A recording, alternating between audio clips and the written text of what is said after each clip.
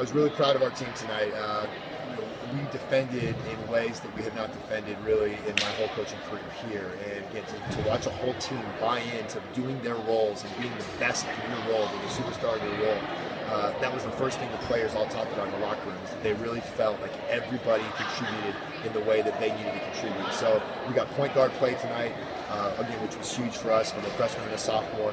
We are centers, which is another freshman and a sophomore, gave us great inside game. And then, of course, again, our great shooters, Kelly Hughes tonight, of course, you know, came to play, uh, knocked down a bunch of shots, and that adds up to a 26-point road win. So, again, a great start to the season. Really proud of the defensive intensity, and uh, looking forward to getting on to the next game.